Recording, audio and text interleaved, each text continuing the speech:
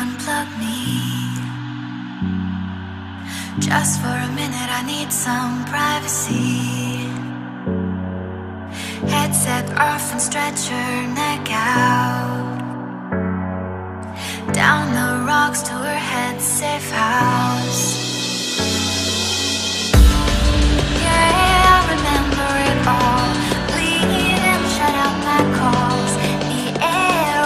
dusty